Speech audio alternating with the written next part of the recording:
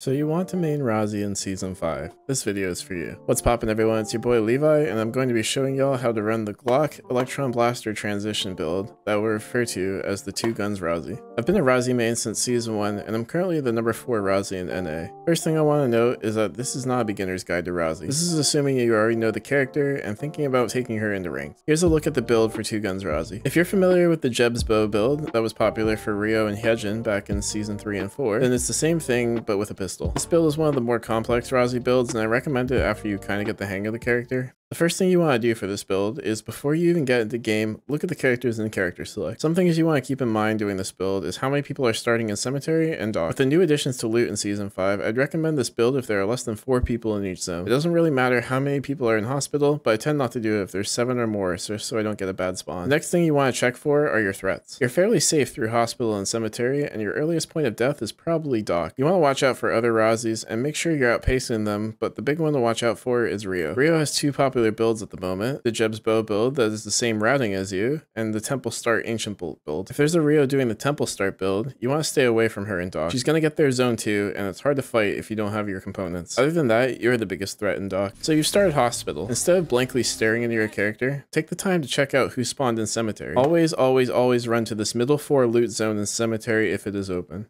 In my case, it wasn't. A Hyun Woo spawned there, but you 100% want to loot there if you can. Hopefully you got one of the two good spawns close to a cemetery and hospital. If not, and you're not too far away, just run to them if they're open. Just follow your saved route plan, and don't worry if you miss a scrap metal here. You can move on with just one. The only extra item you need is alcohol and maybe some milk or ice to chew on for SP. Do not drink your water. You'll need both of them later. If you get one of the two good spawns in hospital, run over the cemetery. If not, use the hyperloop and hope you don't get the looted spawn. I opted for this distribution loot zone right out of hospital because I figured I was moving faster than the other Rozzi. That Rozzi ends up running to the middle quadrant. Clearly didn't check where Hyun Woo had spawned in some and wasted a lot of time. Again, keep following your save plan. The only extra item you'll need is coffee to make mocha bread. You can get coffee in Dockville if you miss it. As you're heading towards the chapel hyperloop, kill two chickens and grab their leather. As of season 5, you only need two leather now since the quiver doesn't need it anymore. Prior to this season, you needed three, so that's a nice change, and TP in the dock. If you spawn in a lewd zone, move to the next because you'll need a full distribution worth of items here. I want to note quickly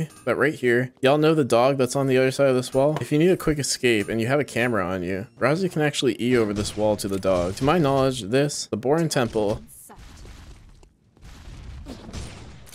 and the dog in school are the only places you can do a wall hop. Let me know in the comments if I'm missing somewhere. Anyways, keep following your save plan, and you should end up with 5 completed items at this point. Basically, if you see someone in dock, you kill them. Unless you get some weird early game, or you mess up your passive combo, you should kill them. Even Rio once you get your items. Remember that water you saved earlier? Use one with a lighter for boiled water, and one with a battery. If you need SP, drink the raw coffee you find in dock. If you didn't grab stones in dock, you can get them in factory if you're pathing that way. You want to path towards the factory TP. There's a bit of a checklist you'll want to do before before you get there, however. First thing you want to do is check where the meteorite spawns are. There's a meteorite coming to factory, chapel, or uptown, I like to contest it. It's on your path, and you're probably one of the first people there, and you're pretty strong. You should also try to find a gun and an extra battery to make an EMP drone with your leftover cam. You technically can make another Glock if you want. I find it just slows your route down, and with the new XP for previously crafted items, it's not entirely worth it. Try to grab two lighters if you can, and bonus if you can grab two oil. The wolves will get you a leather for your gun, and on the off chance that they drop an ion battery, you can make EB on the spot. I prioritize Meteorite over Wolves though, but if it's not spawning near you, do the Wolves. You want to get to Meteorite a bit quicker than I did. Thankfully, no one came, but realistically, someone could have took it before I got there. Hold on to it for Pegasus. After you finish in Factory, head to Temple. The only thing you need here is a medallion, which is always a pain for me to find for whatever reason. You pretty much always get the top bear here. There's not many times I can remember not getting it. Use the leather from the bear on the fabric armor to prep for Mythril armor. This is a bit of a death zone though. You need to watch out for Sua. I don't know what it is, but she feels stronger at this point. I guess if you're better at dodging than I am, then you can probably kill her, but most of the time, Sua beats me. You also want to watch out for Zahir, just because of the nature of Zahir. You technically should win that fight, despite Zahir being a pretty bad matchup for you, simply because most of the time, if they're doing that School Avenue Pawn Temple route, they're not full build yet. Rio and Mai sometimes show up here, and for me, it feels like a 50-50. Most of the time, I would imagine you should win that. 11s you'll sometimes see, but I don't know what build that they do that end up here, and you should probably kill them. Everyone else that shows up here, you kill. Make sure you grab potatoes before you leave leave two and then TP into Uptown. I path to the left side of Uptown. You're here for Electron Blaster, Chocolate, and Codfish. Chocolate for hot chocolate. It's Rozzi's best SP drink due to her passive. Cod for fish and chips. If you didn't get enough oil in factory, you can grab it now too. If you're quick enough, you can get the bears here as well. I sort of get them maybe 60% of the time. We're also going to be transitioning to EB here. Find a carbonated water for your battery if you didn't get one off the bears. If you're incredibly fast, you can have fish and chips, hot chocolate, and electron blaster with full build, and you can go contest alpha. Most of the time, and if you went for the early meteorite, you won't get there. Use the mithril from alpha to transition opsuit into mithril armor. After uptown, I like to go to factory and farm the wolves. If you're an advanced player and keep track of timers, you'll realize that the wolves you took before are going to be coming back up soon. I like to go back and reclaim them for the chance that I roll a mithril off them. I know Rozzi was kind of known as this early game menace that got early kills and ran people down early game and early this and early that, but most of the time, if I don't get a kill in dock,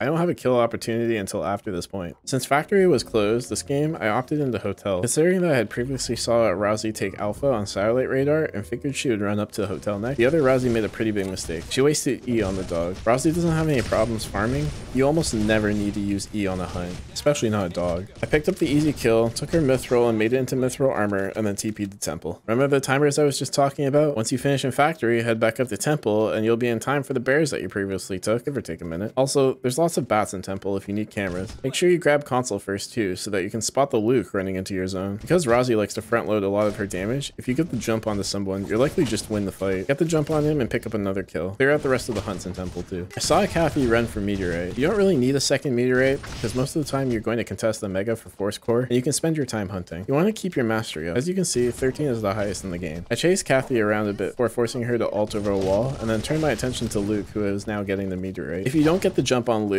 he can be a little difficult to deal with. If you dodge Q, then it's pretty free fight. If he does hit Q, I like to R as he's coming towards you with his Q, and then E as he jumps behind you. Luke's usually W as soon as they E, so I like to E immediately to time out as much of the duration of his W as possible. As you can see, if you dodge Q, there's really not much he can do. I had some time before Wick spawned, so I TP'd the beach to pick up some hunts. Same with Hotel. You pretty much want to always contest Wick if you feel even or ahead in the lobby. I took console and pond and didn't see anyone around, so I started it up. Opposite to trying to get kills, you want to hold your damage fighting Wick so that you can execute it with ult. Try to get it to just under half and then all in it with R. Also, make sure you're staying healthy while you're doing Wick. If this was anybody other than a Hyunwoo, I'd probably just die here. Thankfully, Hyunwoo is one of Rozzi's best matchups. Vault over the Hyunwoo and hold your E push back until his W wears off. They almost always use it immediately after you vault, and I know it's bugged and it just comes out sometimes randomly, but try to hold it. Also, make sure you have three slots open for Wick so you don't get your medkit stolen like I did. Bait out his E by sidestepping next to a wall. It's a little dangerous if you're not quick enough, but it basically guarantees a kill each time if he whiffs. With your Wick items, you want to try and have the greatest amount of good in your inventory. If you have Tiara, then go Opera Mask. If you have Pegasus or Halo, go Red Shoes.